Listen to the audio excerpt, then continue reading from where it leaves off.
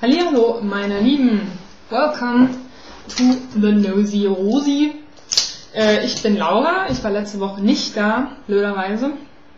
Aber das hat eben auch damit zu tun, dass eben die Internetleitung von meiner Schwester, Schwester, Schwester äh, nicht so schnell ist. Ich weiß auch nicht, eben stammt noch aus der ähm, frühen Bronzezeit und deswegen ist die nicht so schnell. Und äh, ja, gut, dann hat das nicht. Kann ja mal passieren.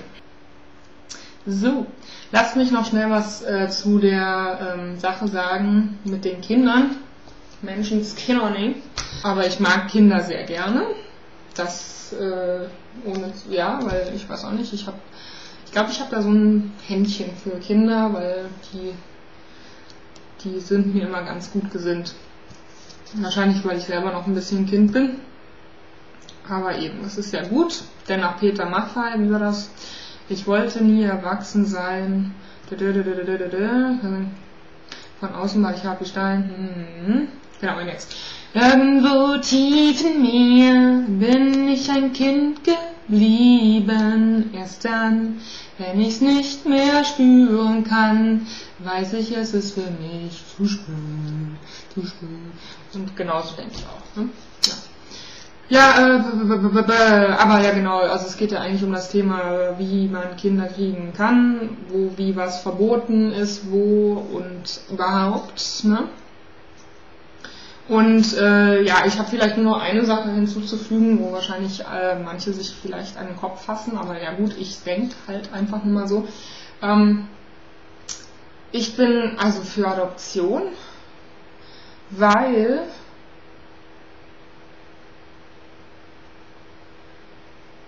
weil ich denke, dass es genügend Kinder in dieser Welt gibt, die ähm, ja, die eben keine Mama, keine Mama und keinen Papa haben. Und ja, deswegen bin ich für die Adoption. Ich weiß, dass es total schwierig ist, aber so genau weiß ich es eben doch nicht, weil ich habe das noch nie probiert und und dann dann mit dieser künstlichen Befruchtung, ja, ich meine eben, das muss ja jeder selber wissen. Ich würde es glaube ich nicht machen, weil mir das alles zu äh, ich weiß nicht, zu ähm, ich weiß ja, so zu steril das Ganze irgendwie ist. Aber eben, ich weiß nicht, vielleicht werde ich es dann doch irgendwie auch noch machen, keine Ahnung. Ähm, man weiß ja nie, sag niemals nie. Und dann noch war noch irgendwas anderes gewesen. Achso, ja, diese Bechermethode. Also nur schon der Name da. Du da, nee, also ist nicht so, äh, also es hört sich für mich auf jeden Fall, ja okay, verlockend hört sich wahrscheinlich für niemanden an, aber wenn es die einzige Möglichkeit ist und auf legalen, günstigsten und schnellen Weg daran zu kommen, aber irgendwie, nee, nee. Also für mich wäre das alles nix. Ähm, ja, wenn dann Adoption oder oder richtig. Also mit einem Mann, ne? Weil, also ich muss sagen, ich bin, ich bin äh, dem männlichen Geschlecht also dem männlichen Geschlecht sowieso. Also ich muss wirklich sagen, ich bin eine Person, die, äh, ich kann Menschen lieben, mich in Menschen verlieben, egal ob Mann oder Frau. Aber wenn ich mich dann verliebt habe, dann, dann stehe ich auch dazu, das wechselt, das wechselt nicht einfach so, sondern einfach die Liebe ist entscheidend.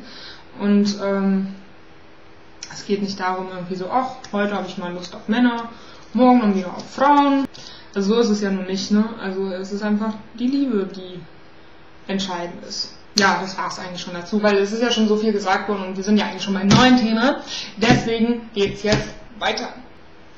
Und zwar, ihr habt euch für das Wochenthema entschieden, also dass wir alle, äh, dass wir ein Thema wählen pro Woche und dass wir alle zu, uns zu diesem Thema äußern.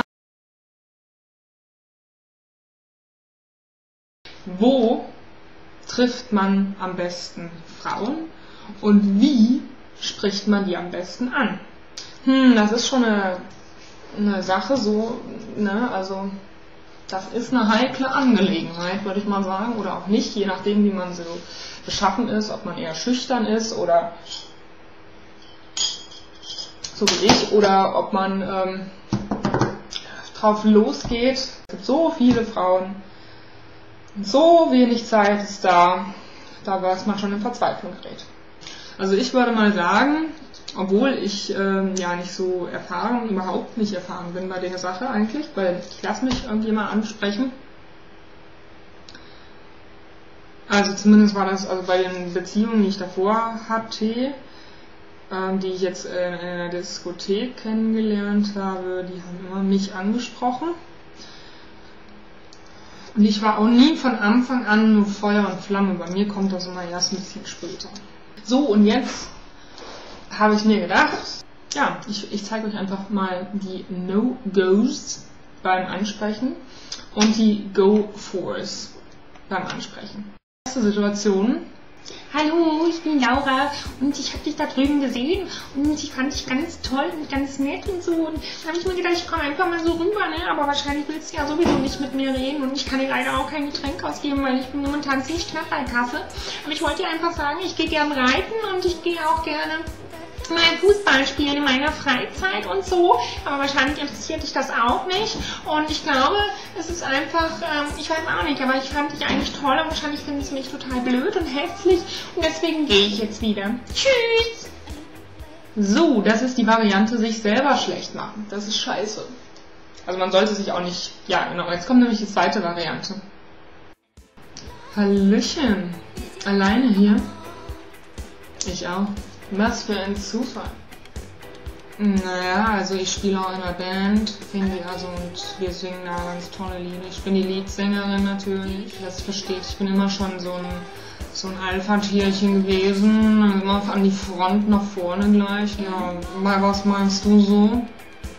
Fällt dir nichts ein, gut, dann rede ich halt mal. Pass auf, es gibt drei Dinge. Ich bin toll, ich bin geil, ich bin die Schlauste, ich bin die Schönste. Mir macht niemand was vor. Du auch nicht. So sieht's aus. Du musst auch gar nicht Ja sagen. Das mache ich für dich. So, das ist die etwas überschwängliche Person. Ähm, sagen wir mal, die Schüchternheit kaschieren durch extremes äh, Auftreten, so einfach sagen, ich bin die coolste und und bla, und lässt dann irgendwie die andere gar nicht zu Wort kommen, ist auch ein bisschen blöd, ne? Geht. Aber es ist natürlich schwierig, ne? Also besonders, ich glaube, besonders der Anfang ist irgendwie ein bisschen schwierig. Dann sollte man natürlich auch ein bisschen auf den Alkoholgehalt achten. Ich sag Hallo, ich bin Laura und ich bin ein bisschen angefühlt, aber nur ein bisschen. Aber ich wollte nur sagen, ich spitze, ich spitze. Und ich weiß auch nicht, ich muss da aber einmal Entschuldigung, mir ist gerade ein bisschen übelst. Ich finde es aber trotzdem toll. Ich will So kann das auch gehen. so kann es gehen.